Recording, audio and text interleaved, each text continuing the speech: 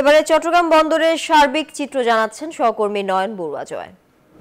চট্টগ্রাম বন্দরের যেটি ইয়ার্ডগুলো দেখলে কিন্তু বুঝতে পারছেন যে চট্টগ্রাম বন্দরের গতি আবারও ঘুরে দাঁড়াতে শুরু করেছে। যেহেতু পণ্য খালাস যেমনটা গতি ফিরেছে, তেমনিভাবে আমরা দেখছি জাহাজের অবস্থান দেখলেই আপনি বুঝতে পারছেন কর্ণফুলী নদীর সাইটে যে যেটি আছে, সেখানে কিন্তু সেখানে আমরা দেখছি জাহাজগুলোর অবস্থান আছে, এমনকি পণ্য খালাসের গতিও কিন্তু অনেকটা ফিরেছে। আমার পাশে আছে চট্টগ্রাম বন্দরের সচিব আছেন ওমর ফারুক। আমি একটু জানতে চাচ্ছি যে চট্টগ্রাম বন্দর যেহেতু কিছুদিন ধরে কারফিউ জারির কারণে কেমন সমস্যায় পড়েছিলেন, এখন কোন অবস্থা আছে বলে মনে হচ্ছে? ধন্যবাদ।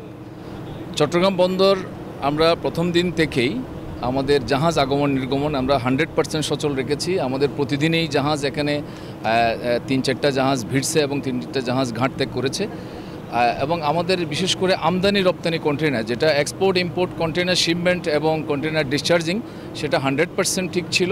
তাহলে আমরা বলতে পারি কন্টেনার জট আর যে জটের সংখ্যা ছিল আমদানিকারক রপ্তানিকারকরা কি মনে করেন? সেই জটটা না সেই জটের কোনো সম্ভাবনাই নেই। যেহেতু আমদানি রপ্তানিকারক এবং সিএনএ প্রতিষ্ঠান যারা আছে, তারা ডেলিভারি নেওয়ার জন্য সবাই খুব উদ্গ্রীব।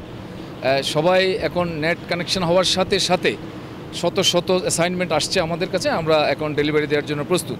পণ্য জাহাজ থেকে নামছে এখানে, কিন্তু ডেলিভারিটা হচ্ছে না, যেহেতু রাস্তায় সড়কের সড়কের মধ্যে কিন্তু পরিবহনের সংখ্যা কিন্তু অনেকটা কম। এই ছিল আমার এখানকার সর্বশেষ, ফিরে যাচ্ছে আপনার কাছে।